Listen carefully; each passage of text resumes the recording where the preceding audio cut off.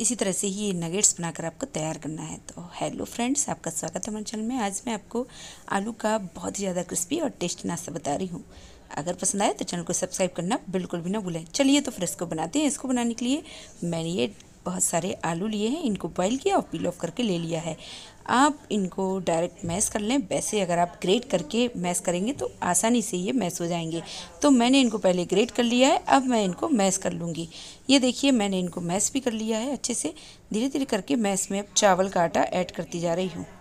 आपको ध्यान करना है कि मैं इसमें कितना चावल का आटा ले रही हूँ।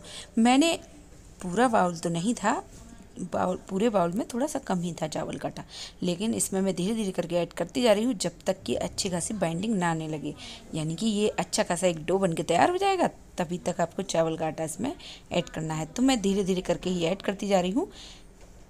ज़रूरी नहीं कि पूरा चावल का आटा लग जाए इसमें। ये देखिए, मैं इसको धीरे धीरे करके एक डो में बनाती जा रही हूँ और इसको मिलाते जा रही हूँ चावल के आटे को। तो बस अब ये डो बनने ही वाला है। इस तरह से ये डो आपको बना के तैयार करना है। तो ये परफेक्ट है। अब मैंने जो चावल का आटा लिया था, उसमें इतना चावल का आटा और बचा हुआ है। मैं इसको एक साइड रख दूँगी। अब चलिए अगली प्रोसेस पूरी करते हैं। तो सबसे पहले मैं इसमें टेस्ट के अकॉर्डिंग नमक ऐड कर रही हूँ। ये देखिए तो सबसे पहले मैं इसमें नमक ऐड कर दूँगी। इसके बाद ही मैं इसमें ये Maggi magic masala.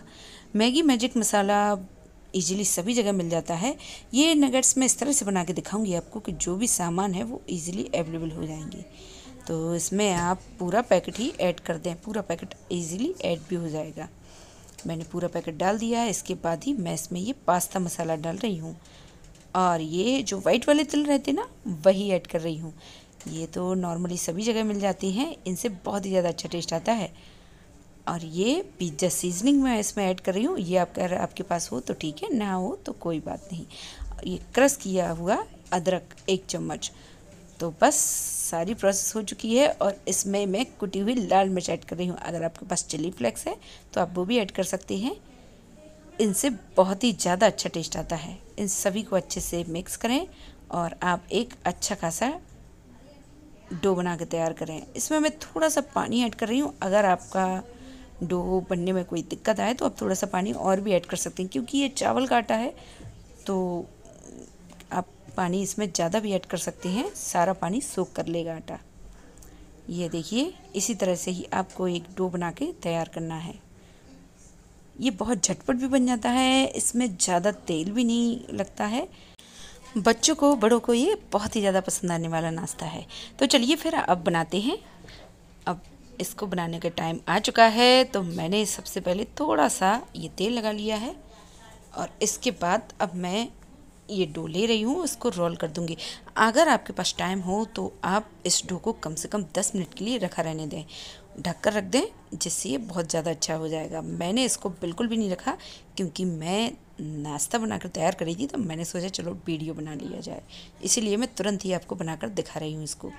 तो हो सकता है तुरंत ही जैसे ही आप बनाएँगे तो थोड़ा सा हो सकता है क्रैक आए या कुछ भी हो तो आ, कोई बात नहीं आप इसको हल्के से इसी तरह से प्रेस करते रहें बीच में और बनाते रहें रोल फिर भी कोई दिक्कत नहीं आती है तुरंत ही आप इसको बनाकर इसी तरह से ही तैयार कर सकते हैं जैसे कि मैंने भी बनाकर तैयार किया है। अब चलिए इसको कट कर देंगे।